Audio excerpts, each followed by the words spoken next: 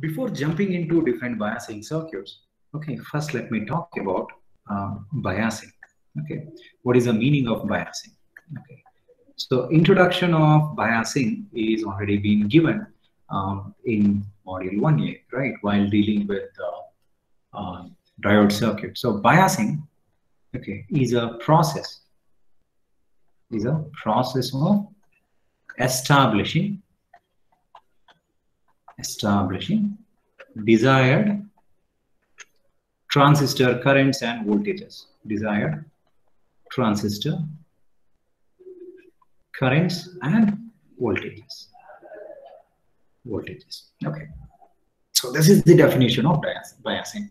So it's a process of establishing desired transistor currents and voltages. So the word desired okay indicates that you will have a point you will have a point and this point is also called as operating point okay operating point so in your circuit what you are trying to create is an operating point.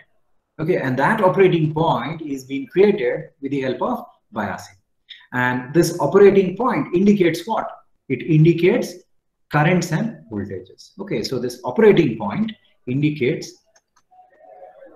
indicates desired currents and voltages. All right. Okay. So in analog electronics as well as in power electronics, this operating point is normally taken as the Q point.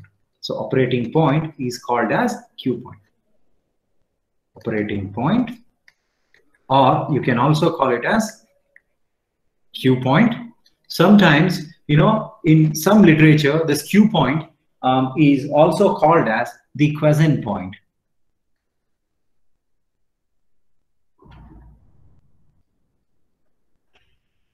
quiescent point. Okay, the meaning of quiescent, okay, the dictionary meaning of quiescent is something like still or um, quiet, something like that.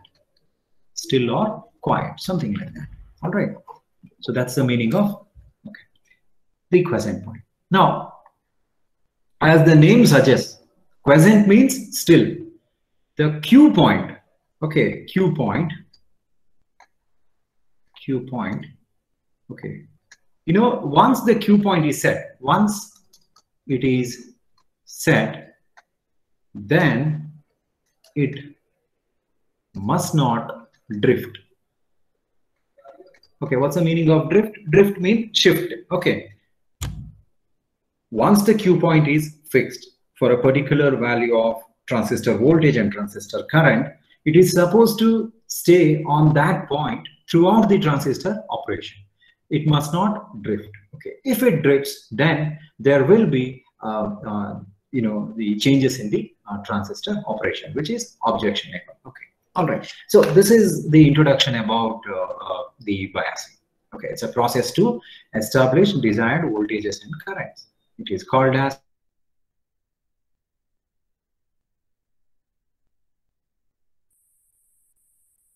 is to fix the transistor currents and voltages. Once fixed, it should not move. Okay. Okay. Okay. If if the Q point, if the Q point shifts, shifts, then the stability of the transistor, stability of the transistor gets disturbed. Disturbed. Okay. Uh, the fag end of uh, uh, you know module 1b, we will be uh, talking about the stability and what is the cause for uh, disturbance in stability, the Q point shift. Okay, we'll talk about it uh, at the end of you know the biasing chapter. All right, fine. Now let us study more about this operating point. Operating point. Normally, this particular question will come for six marks to eight marks. Okay, explain the concept of operating point. Okay, definition of operating point. Remember, operating point is nothing but Q point. Okay. First, you can define the definition of operating point, which I have already defined. That's done. Okay, so I'll put a tick mark. Okay. Now, in order to explain the concept of operating point, first let me choose a biasing. Okay, so choose choose uh, a common emitter mode. Okay, you could even choose common base mode or you could even choose common collector mode. Okay, I'll go for common emitter mode because that's the most widely uh, used mode for, uh, you know, amplifier operation. All right. So what I will do, I will quickly draw the X and Y axis.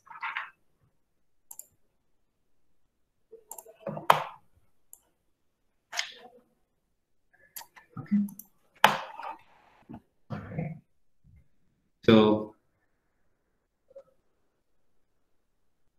this is your current axis and this is your output voltage axis.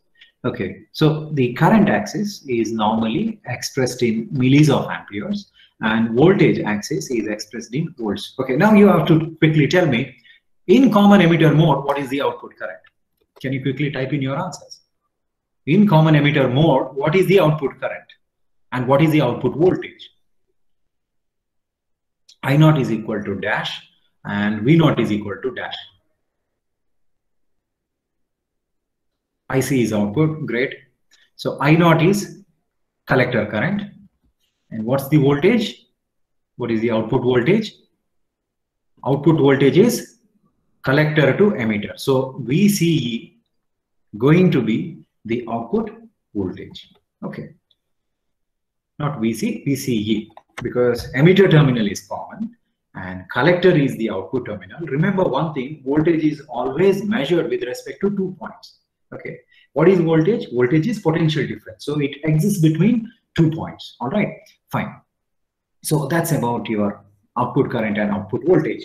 Now, what we will do is let us consider the output characteristics. Okay. The next task is to plot common emitter mode output characteristics. Okay. So common emitter mode output characteristics, um, you know, it takes uh, something like this. Okay, this shape it takes something like this I will draw. Okay.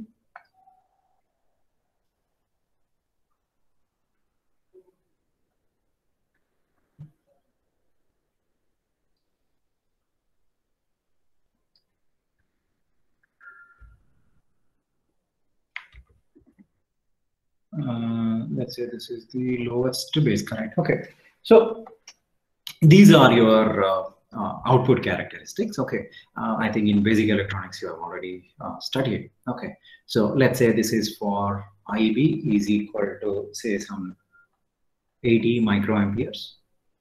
This is IB for say 60 microamperes. So for different base currents, you know, you get different collector currents because that's the reason, you know, we call uh, BJT as a current control device. By controlling the base current, you can control uh, the collector current. Okay, so this is going to be, let's say, 40, and let's say this is 20, and the last current, okay, let me take IB as some very small value, which is say 5 microcurrent. Okay, fine. Now, let us also mark few regions here. Okay when I say regions, okay, what you have to understand is that um, the region which is very close to y-axis, let's say this region, okay, and there is a region, you know, which is very close to your x-axis as well. So let's say this region.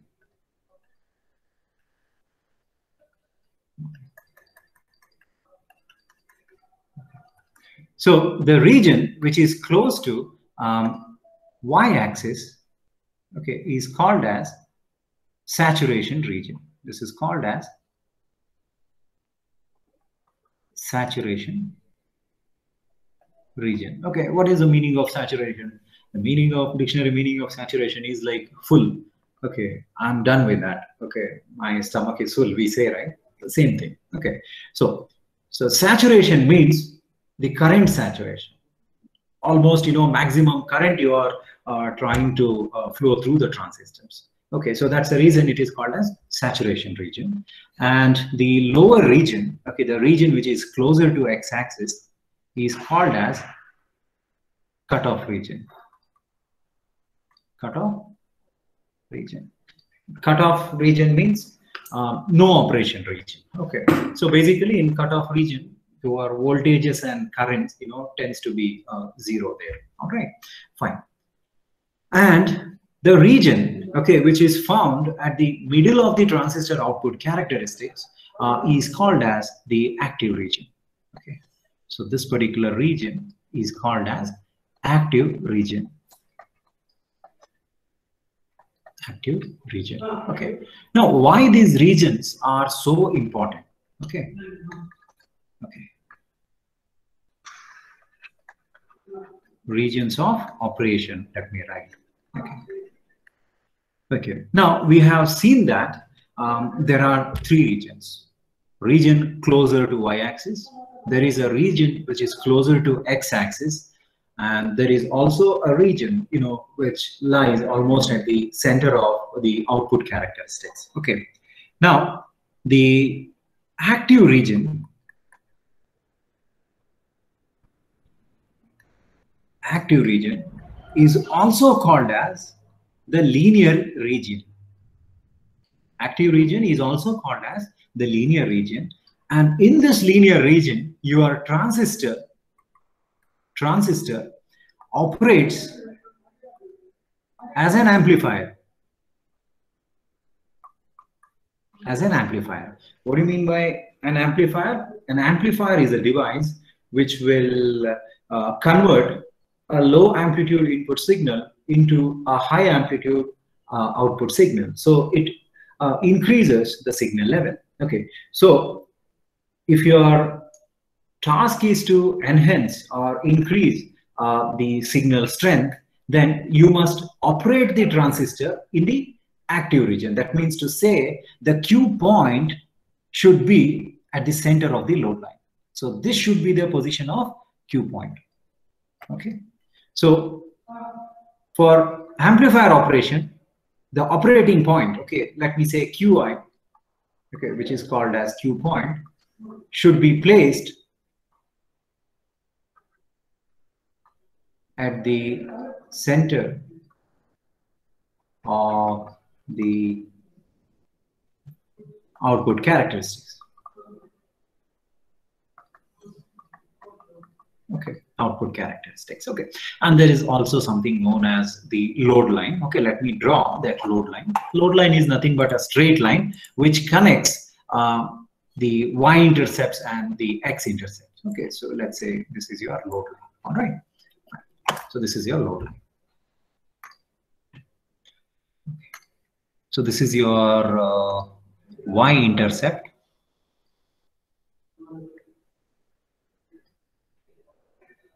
So value of y-intercept is IC max, which is called, which is given by VCC by RC, okay?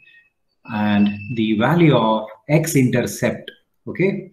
This is called as VCE max, okay, which is equal to the power supply voltage VCC. How I will tell you in the future classes. Okay, as of now, you just uh, consider that IC max and VC max. That's what I want you to uh, remember. Okay, IC and VC max.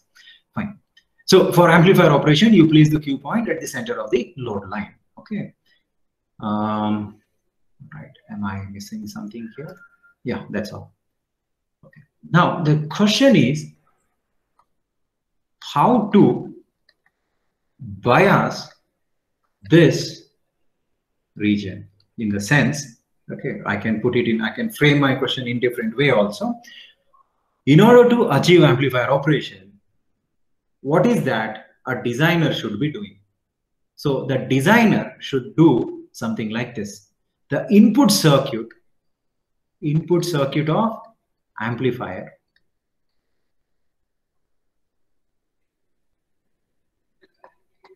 okay, or rather, can I say input circuit of biasing? Okay, input circuit of biasing network and output circuit of biasing network should be forward biased should be forward biased so when we forward bias both the input circuit as well as the output circuit you can get or you can expect an amplifier operation all right now in the amplifier operation um, the waveform okay, the output waveform, the current and voltage waveform uh, looks something like this, okay. okay. All right, so what are the coordinates of Q point? Coordinates of Q points are some ICQ and some VCQ. Okay, these are the coordinates of Q point. Let me write. Coordinates of Q points are ICQ, comma VCEQ. Okay, so this is VCEQ. okay. And this is ICQ this is ICQ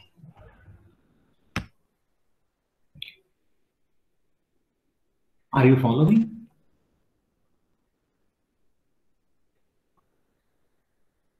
yes or no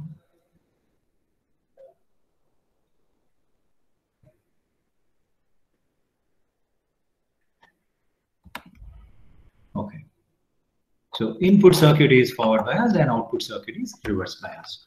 Then your circuit behaves like an amplifier circuit. Okay, fine. So let, let me quickly tell you how exactly the circuit looks like.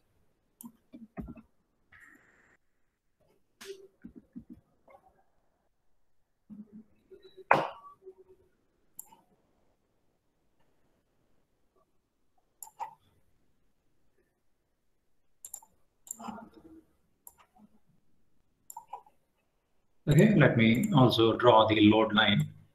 I'll tell you, I'll teach you how to draw the load line in the future classes. Okay, fine. So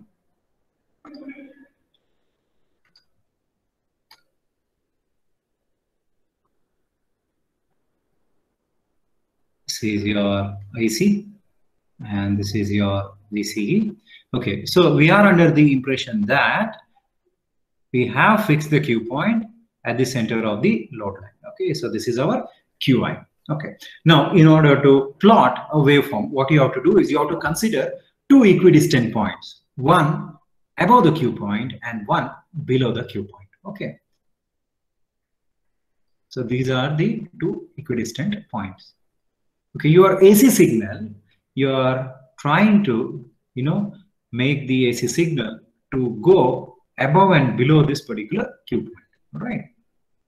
So this is the projection drawn from the respective points.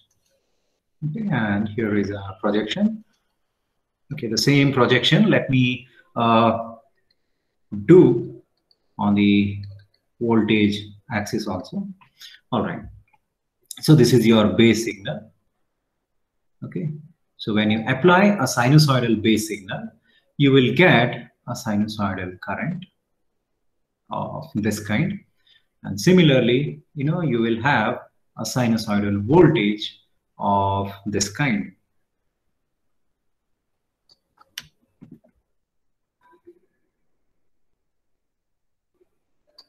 Okay.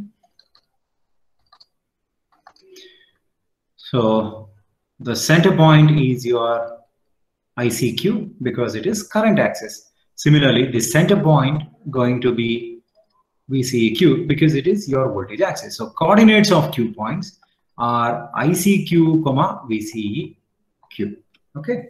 So since it is, you know, the figure itself is uh, uh, self-explanatory, right? Whenever you fix the Q point, you know, your output current will be a 360 degree cycle and your output voltage going to be a 360 degree cycle.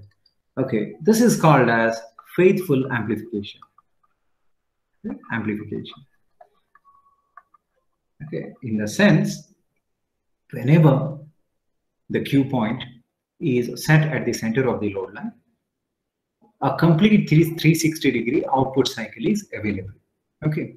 Hence, your output will not have any distortion. And that is what is required for amplifier. The amplifier should not consisting of any distortion. Okay. So this is your first region of operation. Now let us look at the second region of operation, which is called as, let's say, um, saturation region. So active region, we are done. Next, we will go to saturation region. Okay. Now for saturation region, um, let me take orange color. Okay. So I'll go back to our main graph. Um, what I will do, let me take Q point somewhere here and let me name this Q point as Q double I. Okay. Single I for active region, double I for saturation region. Yeah. So double I. Okay.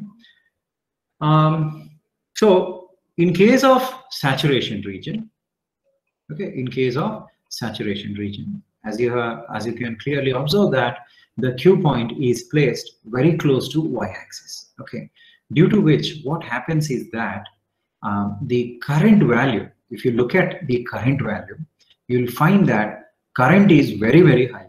On the other hand, if you look at the voltage value, the voltage will be very, very small. Okay, so voltage is very small and current is very high. So what kind of circuit scenario it uh, exhibits? So in saturation region, you want me to recreate the graph? I can do that. So what I will do, quickly let me recreate the graph. Okay, you have to be a little patient Okay, that's because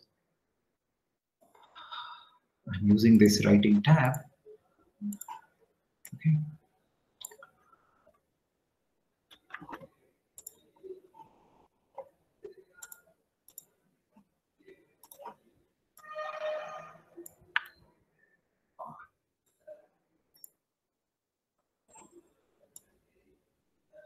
Okay. And one more axis let me draw quickly. All right, I'm done with my axis. Now let me quickly rename IC, VCE. Let me also draw the load line. Okay. And let me place the Q point as well.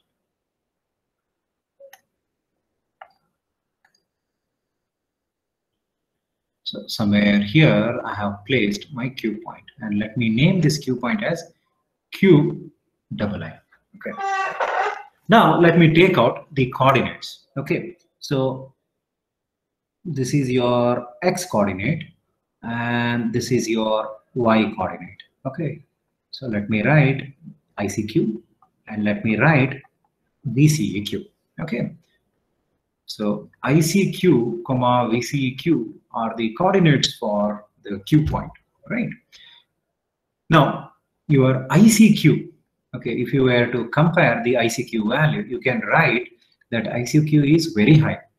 On the other hand, if you look at VCEQ value, VCEQ value is very close to the origin and origin is at zero volt level, right? So can you say VCEQ is very close to zero volt? Okay, I'm not saying exactly it is zero volt, close to zero volt I'm saying. So your ICQ is high and VCQ is, um, you know, almost zero. So this particular circuit scenario resembles dash circuit, open circuit or short circuit. Can you type in your answer? Current is high, voltage is zero. This is called as short circuit scenario. Okay. So short circuit scenario as in, let's say you have a switch. Okay. You have a switch. Now, in case if you close the switch, what, you, what happens? You get a short circuit. So this is called as short circuit. So in case of saturation region, in saturation region,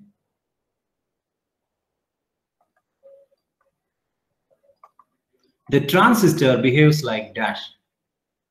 The transistor behaves like a closed switch. A closed switch. Okay. So even you can use a solid state device uh, to replace a mechanical switch. Okay, mechanical switch works on um, human force, right? On the other hand, the solid state switch uh, can be given with, uh, you know, intelligence. Okay, that means to say uh, computer controlled uh, uh, intelligence can be given and it can be operated uh, at will. Okay, you can make it as a closed switch or you can make it as an open switch. So if you use a transistor, you must know the fact that if at all you want to make the transistor to work as a closed switch, uh, you have to operate the transistor in saturation region. All right, so that's the meaning of um, saturation region. So you can operate the switch in closed mode. Okay. Finally, let me go to the third mode, which is called as the cutoff mode or cutoff region rather. Cutoff region. Now, what is this cutoff region? As I have shown in the main graph, that the cutoff region is the region which is closer to uh, your x-axis. All right. So let's pick up a point in the cutoff region. Okay. Let's say, okay, some refreshing color will take um, some rainbow color. All right. Okay. Fine. So let me take the cutoff region somewhere here. Okay. This point I have taken. Yeah, this is not visible. I use white color. This is my cutoff region, Q point. Okay, and let me name this point as Q triple I. Q triple I. Okay, so where is our Q point? Our Q point is very closer to the cutoff region. Let me draw the axis.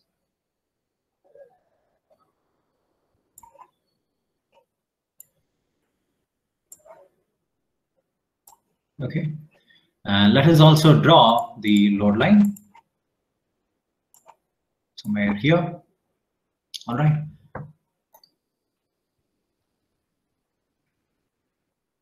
Let us mark the axis. This is IC. This is VCE. All right. Now let us place the Q point. Okay, so where where are we going to place the Q point? We are going to place the Q point um, very closer to the cutoff region. Okay, so this is your Q triple I. Okay, so Q point is placed closer to x-axis. I would say x-axis because that region itself is cut off closer to x-axis. Okay, now if you look at the coordinates, okay if you look at the coordinates your uh, x coordinate is VCEQ and your y coordinate is ICQ okay. Now if you look at the coordinates okay and this is VCE saturation okay or VCE max which is equal to VCC, the power supply voltage. Okay, your VCEQ is high, correct, because it is towards the right hand side. So your voltage is high. On the other hand, your current, this is 0 ampere at the origin, your current is approximately equals to 0. I'm not saying it is 0, I'm saying it is close to 0 because current value is negligibly small. Okay, so by fixing the Q point closer to cutoff region, we observe that voltage VCE is very high. Okay, and approximately it is equal to VCC. On the other hand, your output current IC, or rather ICQ, is close to zero amperes. Okay, so voltage is maximum, current is zero. Which uh, circuit scenario? Current is zero, voltage is maximum. What kind of circuit scenario it resembles? Open circuit. Open circuit, great. So this is nothing but your open circuit. Open circuit. See, super cool, right? The transistor, you can make the transistor to work as an amplifier. Okay. Or you can make your transistor to work as a switch. So in, in place of mechanical switch, you can use a solid state switch. Okay. So this can be shown something like this. Okay. In the previous class, what I will do, yeah, I have put the arrow direction, right? It is towards the closing side. Okay, here what I will do, it is away from the closing side. Okay, so this is your open switch representation. Open switch, and this is the equivalent circuit. Equivalent circuit. So this is open circuit. So current is zero, voltage is maximum. Voltage is maximum. Okay. Now you understood, right, the purpose of biasing. So by properly selecting a Q-point, the designer can Uh, uh, make the transistor to work either as an amplifier or as a switch. In switching operation, there are two states, off state and on state. Okay, so in switching operation, in switching operation, there are two states. Okay, there are there is no other fuzzy state, all right, only two state, on state or off state. For on state, keep your Q-point in saturation or in short, you know, we say sat region. For off state, keep your Q-point in cutoff region. Cutoff region. Okay. Now the question is, who is going to keep that Q-point? And how are you going to keep that Q-point in saturation and active region? How?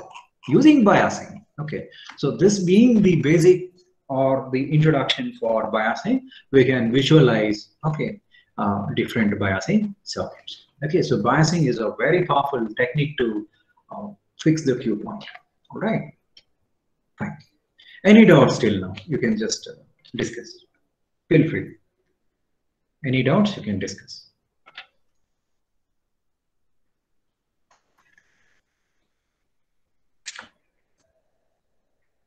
Okay.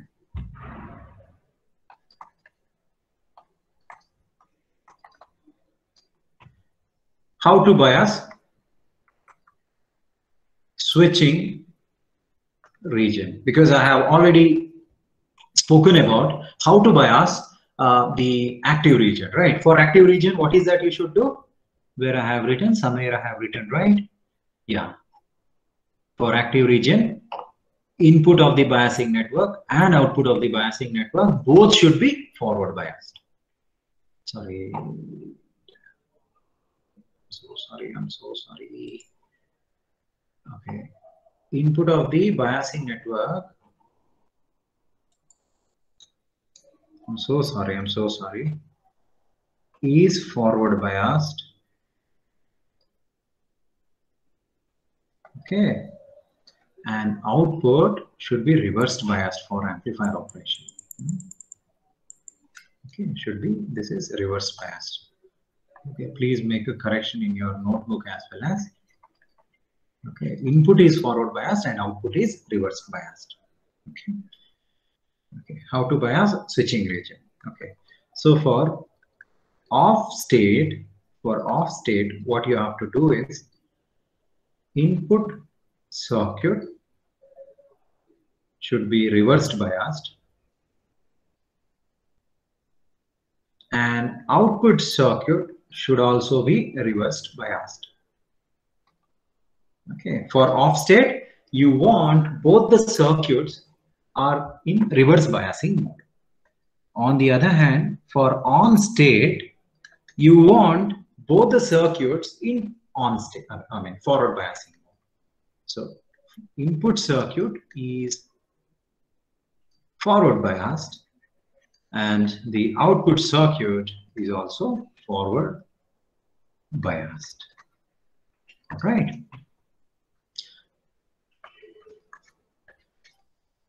And let me just recall the previous, uh, you know, statement. for amplifier operation, for amplifier operation, input is forward biased, but the output is reverse.